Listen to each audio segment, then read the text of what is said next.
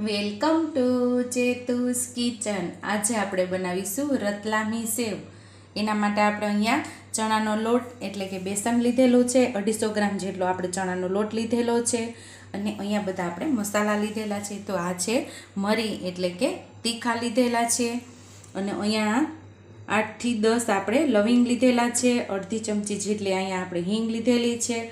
અડધી ચમચી આપણે ગરમ મસાલો, એક ચમચી લાલ મરચું પાવડર લીધેલું છે. પાંચ ચમચી જેટલા આપણે અજમા લીધેલા છે, અડધી ચમચી અહીંયા હળદર લીધેલી છે અને અડધી ચમચી આપણે અહીંયા સંચર પાવડર લીધેલો છે અને અડધી ચમચી જેટલું આપણે મીઠું લીધેલું છે.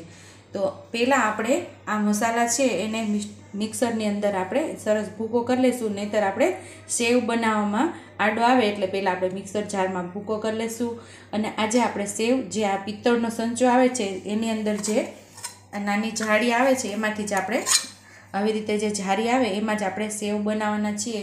તો પહેલાં આ મિક્સર જારની અંદર આપણે ભૂકો સરસ કરી લઈશું પહેલાં આપણે લવિંગ ઉમેર્યા હવે અજમા ઉમેરશું અને તીખા ઉમેરી અને મિક્સર જારની અંદર આપણે સરસ પાવડર એટલે કે ભૂકો કરી લઈશું તો પહેલાં આપણે એક કાથરોટ લીધી અને હવાલો લીધો. એની અંદર આપણે લોટ ઉમેરી અને લોટ બધો ચારી લઈશું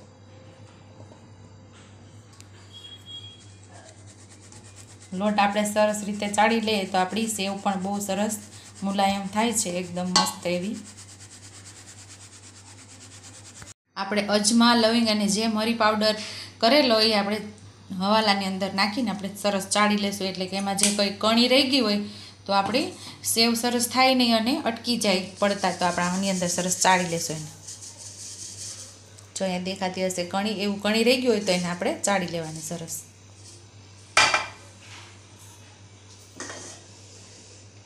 અહીંયા હળદર પાવડર લીધેલો એ પણ આપણે ઉમેરી દઈશું સંચર પાવડર મીઠું. ગરમ મસાલો. અને લાલ મરચું પાવડર અને આપણે હિંગ ઉમેરી દઈશું ચપટી જેટલા આપણે મીઠા સોડા ઉમેરી દઈશું અને મોણ માટે આપણે ત્રણ ચાર ચમચી આપણે મોણ ઉમેરી દઈશું એકદમ સરસ આપણે મિક્સ કરી દઈશું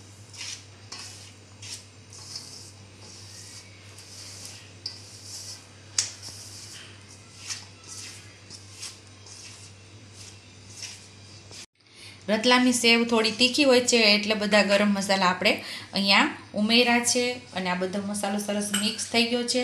હવે જેટલું પાણી જોશે એવી રીતે આપણે આને લોટ બાંધતા જશું, પાણી ઉમરતા જશું અને લોટ બાંધતા જશું આપણે.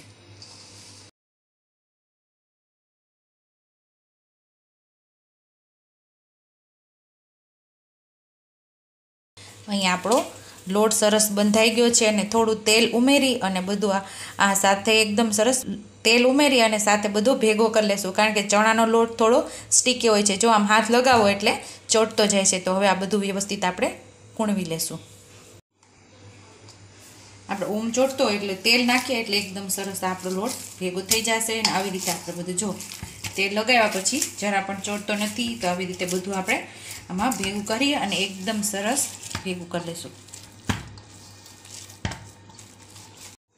અહીંયા આપણે તેલ લગાવીને એકદમ સરસ આપણે લોટ કરી લીધો છે અને અહીંયા જુઓ, જો આવો લોટ આપણે બાંધવાનો હોય છે આ.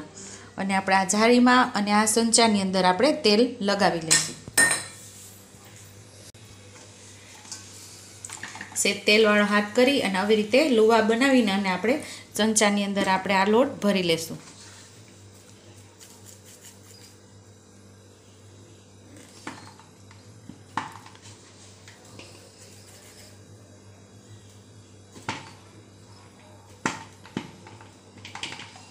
અહીં આપણું તેલ પણ સરસ ગરમ થઈ ગયું છે, તો હવે આપણે સેવ પાડી લઈશું.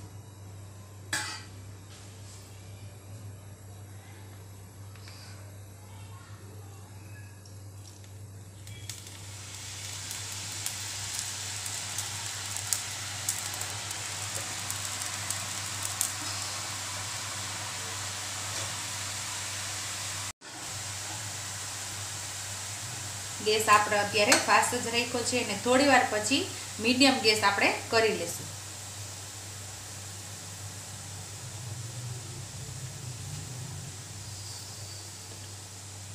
હવે આપણે એની સાઈડ ચેન્જ કરી લઈશું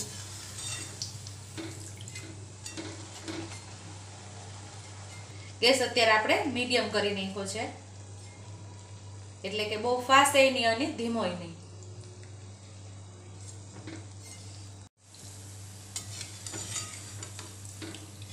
બે સાઈડ આવી રીતે ફેરવીને સે જેવી કડક થાય, પછી જ આપણાને ઉતારવાની.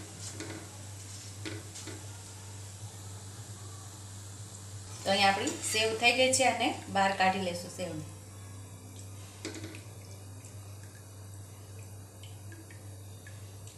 ને એક થાળીની અંદર આપણે રાખી દઈશું. આવી જ રીતે બધી સેવ આપણે કરી લઈશું.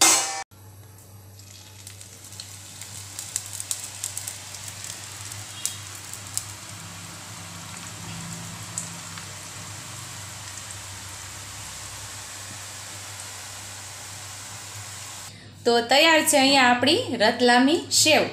જો તમને મારી રેસીપી પસંદ આવી હોય, તો મારી રેસીપીને લાઇક કરજો, શેર કરજો સબસ્ક્રાઈબ કરજો બેલાઇકોનને દબાવતા ભૂલતા નહીં અને કમેન્ટ બોક્સમાં કમેન્ટ કરજો કે મારી રેસીપી કેવી લાગી. તો આવજો.